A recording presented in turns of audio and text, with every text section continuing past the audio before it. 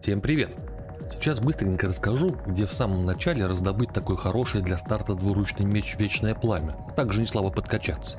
Поехали! Очнувшись на корабле, нам необходимо набрать свою команду Бегающий Мозг, вытащить который можно с полутрупа во второй комнате корабля, Лаэзель, воина гитьянки, которая в случае, если ваш герой отлично от воина или варвара возьмет этот самый меч в свои крепкие руки, а также освободить с капсулы мадам Шадоухарт, жричку, которая нам сильно облегчит задачу по присвоению всего имущества. Далее необходимо этой самой жричке через меню заклинаний добавить в пул используемых такие заклинания, как благословение и приказ, а также пару исцеляющих заклинаний. Далее, перед входом в комнату управления, где и будет происходить происходить вся суета. Забафать всех членов отряда заклинанием благословения и сразу же восполнить ячейку заклинания в какой-то ракушке восстановления. И бегом в комнату. Смотрим катсцену, где какой-то кальмар под названием Илетит, находясь в явном меньшинстве, вздумал нами командовать. Но герой это вечера не он, а рогатый мужчина-командир Жалк, сильно желающий сначала превратить закуску в пиво кальмара, а затем и нас насадить на свой прекрасный меч, который мы, собственно, и будем у него заимствовать. Но ссать еще рано, пока кальмар жив, рогатый будет насиловать исключительно его. Наша задача на первые пару ходов боя это быстренько раскидать на шашлык мелкий трэш в виде бесов и кабана. И самое важное, это удачно применить на командира жалко заклинание приказ бросить, где на харде мы имеем 55% вероятность успеха и целых две попытки. Если получилось, хорошо.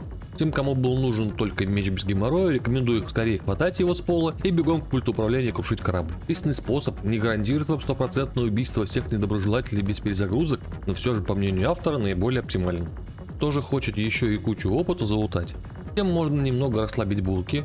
Мечик уже наш на полу, осталось только раскидать весь мелкий трэш и подобрать его. Но давайте по порядку.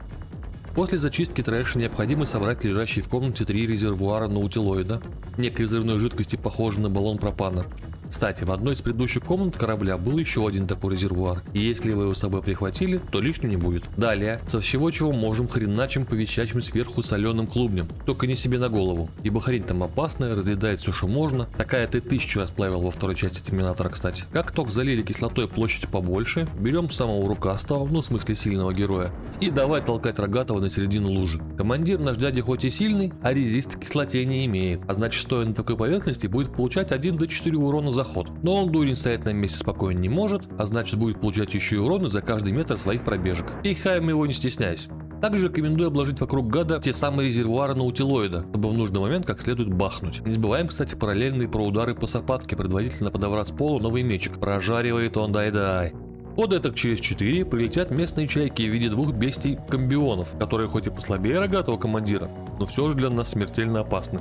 А посему желательно бы к этому моменту просадить командира жалко как можно сильнее по хп, а самим отойти подальше от замеса. Мозг можно бросить в этой заварушке, один фиг логарифма он высчитывать не умеет, а без этого от него толку ноль. Как только все вражины соберутся в хоровод вокруг расставленной нами ловушки, остается только кинуть что-нибудь горящее в резервуар и начнется фаер-шоу покруче, чем на День города.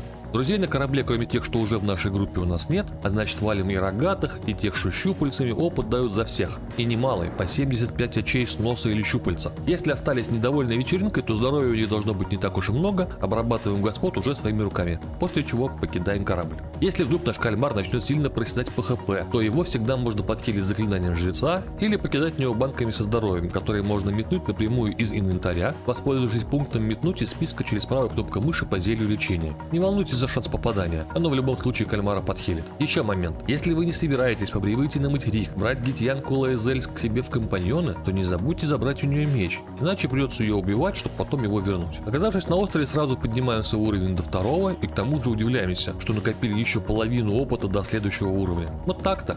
Удачи. Бро, ты подписаться забыл?